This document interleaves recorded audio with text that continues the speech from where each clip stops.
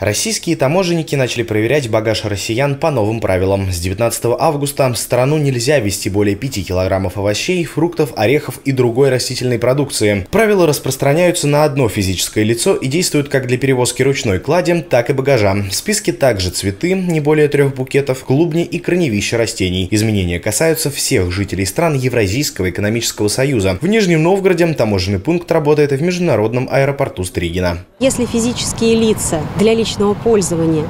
Ввозят, например, запрещенную растительную продукцию или ввозится, или растительная продукция ввозится с нарушением права, норм права, которые установлены законодательством Евразийского экономического союза или законодательством Российской Федерации, то в этом случае продукция запрещенная или ввезенная с нарушением норм права, она подлежит либо возврату за пределы территории Российской Федерации, либо уничтожению за счет средств собственника продукции.